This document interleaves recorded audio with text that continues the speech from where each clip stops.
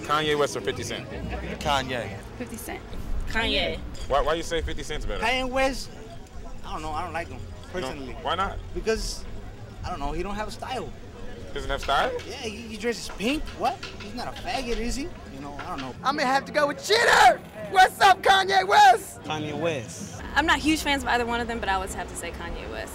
Do you believe in his comments that George Bush doesn't like black people?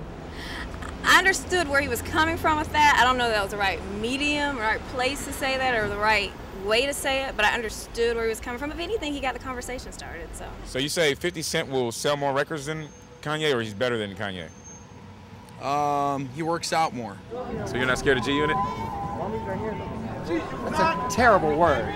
Why you say Kanye? Kanye, he's a producer, he's a songwriter, he's an artist, he's everything as a whole. You know what I'm saying? He's a hot cat. 50 Cent's is just b- puffy. He's just a, a, a muppet. So you think George Bush does does like black people? yes.